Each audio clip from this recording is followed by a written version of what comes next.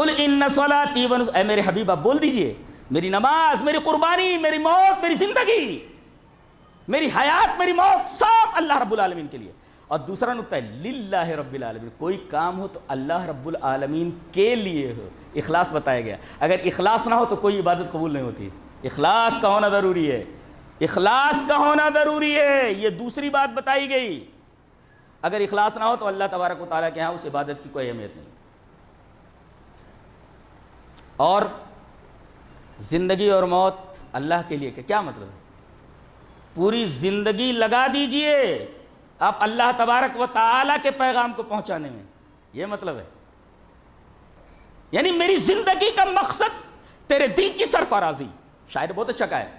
میری زندگی کا مقصد تیرے دین کی سرفرازی، میں اسی لیے مسلمان، میں اسی لیے نمازی۔ اللہ کے دین کی تبلیغ یہ ضروری ہے۔ اور ایک نقطہ بتاتا ہوں ایک آیت کریمہ کی روشنی مفسر کا تفسرہ دیکھو، کتنا پیارا ہے۔ یا ایوہ الرسول بلغ ما انزل الیک من ربک، وَإِن لَمْ تَفْعَلْ فَمَا بَلَّغْتَ رِسَالَتَهُ وَاللَّهُ يَعْصِمُكَ مِنَ النَّاسِ۔ اے میرے رسول، آپ آپ کے اوپر جو کچھ اتارا گیا ہے، اس کی تبلیغ کر لیجیے آپ۔ ایک نقطہ تو یہ ملا کہ کسی انسان کی لکھی ہوئی کتاب کی تبلیغ نہیں کرنی ہے آپ کو۔ ما انزل الیک کی کرنا ہے جو اللہ کے رسول کے اوپر نازل کی گئی، وہ قرآن و سنت ہے۔ دو چیزیں نازل ہوئی ہیں، قرآن اور سنت۔ وہی مطلو وہی غیر مطلو ان کی تبلیغ کیجیے آپ۔ دیکھیے قرآن و سنت کے علاوہ ہر چیز کی تبلیغ ہو رہی ہے۔ بہت بڑے مسلمان بیچارے۔ پورے آبے کا بگڑا ہوا ہے، پوری بنیاد ڈیمیجڈ ہے۔ خراب ہے پوری کی پوری۔ یا ایوہ رسول بلغ ما انزل الیک من ربک۔ یہ تبلیغ کیجیے، قرآن و سنت کی۔ اور ایک نقطہ بڑا پیارا لکھا ہے مفسر نے کہ جتنا زیادہ آپ اللہ کے پیغام کو آگے بڑھائیں گے، اللہ کی حفاظت، نصرت اور مدد آپ کے ساتھ رہے گی۔ تو اللہ کی نصرت اور حمایت کو زیادہ سے زیادہ کرنا ہے، تو زیادہ سے زیادہ اللہ کے پیغام کو آگے بڑھانا اس کے مان بات یہ آئے تھے، واللہ یاسمک من الناس، اللہ لوگوں سے تمہاری حفاظت کرے گا۔ یہ لوگ کہا گیا ان کو نام بھی نہیں دیا گیا کہ نام لینے کے قابل نہیں ہے۔ کہا، واللہ یاسمک من الناس، دنیا کے تمام لوگوں سے اللہ تمہاری حفاظت کرے گا. یہ کون ہے؟ فلاں صاحب، مسلمانوں کے دشمن ہے فلاں صاحب، مسلمانوں کے دشمن کائے کو ان کے پیچھے پڑھنا کائے کو گانا گانا؟ گانا گا رہے۔ اے ہمارے ساتھ ظلم ہو رہا ہے، یہ ہو رہا پہلے اپنی حالت تو دیکھو کہ تم کہیں تم تو ظالم نہیں ہو۔ اچھا اس آیت، اس بات کے لیے ایک آیت کریمہ یاد آئی، پڑھ دیتا ہوں۔ ٹائم بھی کیسا بھاگتا ہے، رن آؤٹ ہو رہا ہے، پھر۔ تو وَكَذَلِكُ نُوَلِّي بَعْضَ الظَّالِمِينَ بَعْضًا بِمَا كَانُوا يَكْسِبُونَ ہم ظالم کے اوپر ایک دوسرے ظالم کو مسلط کر دیتے ہیں۔ اس کا مطلب یہ ہے کہ ہم جو پریشان ہیں اور ظالموں کو ہمارے اوپر مسلط کر دیا گیا ہے، ہم خود ظالم ہیں نا۔ اس لیے کہ ظالم کے اوپر ظالم کو مسلط کیا جاتا ہے۔ تو اپنا غریبان ہم دیکھتے نہیں اور دوسروں کے لیے گانا گاتے پھر رہے ہیں۔ وہ کدالی کن ولی باز ظالمین بازم ایک ظالم ہوتا ہے نا، تو اس سے بڑے ظالم کے اس ظالم کے اوپر، اس سے بڑے ظالم کو مسلط کر دیا جاتا ہے۔ ظالم کے اوپر ایک قصہ یاد آیا۔ ایک صاحب کی بیوی انہیں بہت پریشان کرتی تھی۔ اتنا ستاتی تھی، ناک میں دم کر رکھا تھا۔ یہ آدمی بہت پریشان ہے پانی مانگو تو گالیوں پہ آ جاتی تھی۔ کھانا مانگو تو جھاڑو پہ آ جاتی تھی۔ بہت پریشان تھے۔ کچھ معلمات آئیں، ان کا کچھ پروگرام تھا۔ جب آئی بیان سن کر کے تو پورا انداز اس کا چینج ہو گیا تھا۔ چائے لاؤں؟ ہاں لاؤں۔ ناشتہ لاؤں؟ وہ حیران ہے کہ یہ تبدیلی اس کی زندگی میں کیسے آئی؟ پریشان حال ہے وہ۔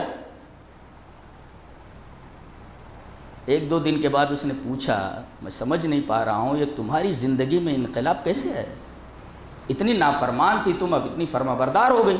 کہا کہ وہ معلمات جو آئی تھیں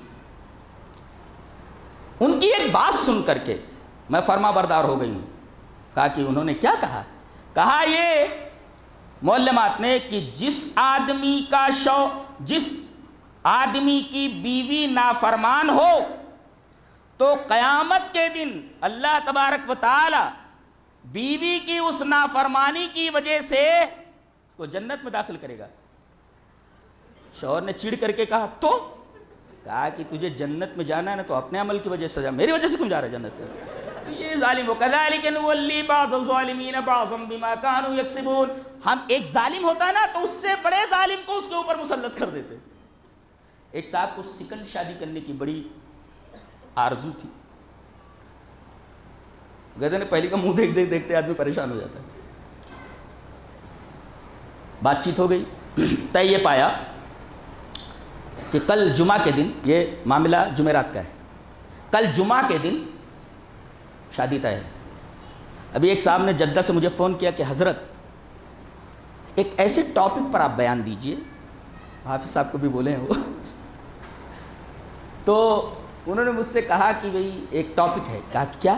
کہا کہ پہلی بیوی کو بتائے بغیر دوسری شادی کر لینا اور زندگی بھر پہلی والی کو پتہ نہ لگے، اس پر ذرا دلائل اکٹھا کر دیجیے۔ حضرت آپ ہی کی بس کر ہو گئے۔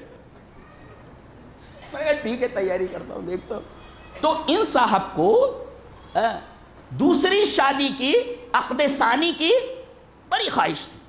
جمعرات کے دن بات ہو گئی لڑکی والی بھی تیار ہو گئے۔ خوشی خوشی آئے۔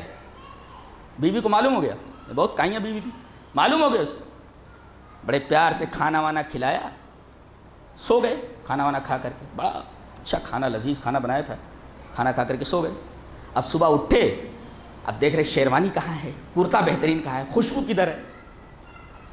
پہن وہن کر کے ذرا نکلنے لگے تو بیوی نے کہا، کہاں جا رہے ہیں آپ؟ کہا کہ، جمعہ پڑھنے جا رہا ہوں، اور کیا؟ کہا کہ، آج سنیچر ہے۔ سنیچر کے دن جمعہ ہوتا۔ کہا کہ، آج سنیچر ہے؟ بولے ہاں۔ تمہاری حرکت کا مجھے علم ہو گیا تھا۔